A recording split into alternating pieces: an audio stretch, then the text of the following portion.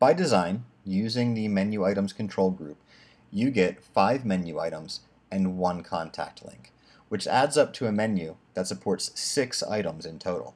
But what happens if you want more than six menu links?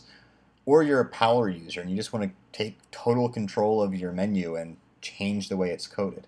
Well, you can do both of those things using the custom menu items field.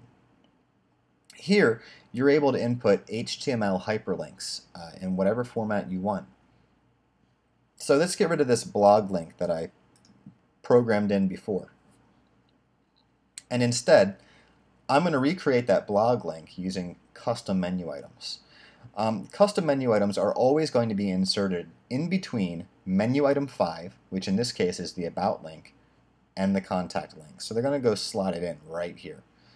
And uh, like I said, all you got to do to use this is dial in some uh, HTML. So if you know how to do it, it's uh, open bracket A, href equals quotation mark, the address of your blog or the target of your, your hyperlink, whatever that's going to be.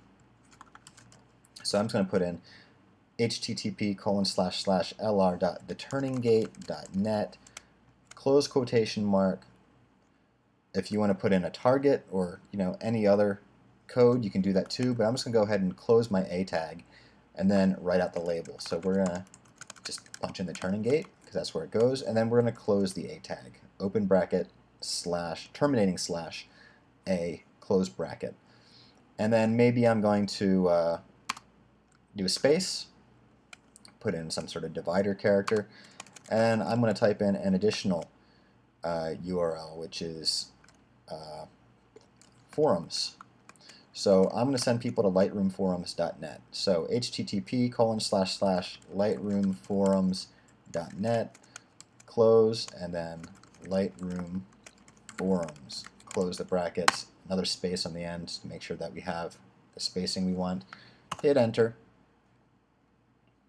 And as you can see, that HTML is translated into menu items here. So I now have links to the Turning Gate and to lightroomforums.net. If I want to get rid of that divider, because as you can see I'm not using dividers anywhere else, I can go ahead and do that by re-editing my code. So I'm just going to make sure I have a space between those two links so they don't run together. And there's the menu. So that's how you use the custom menu items.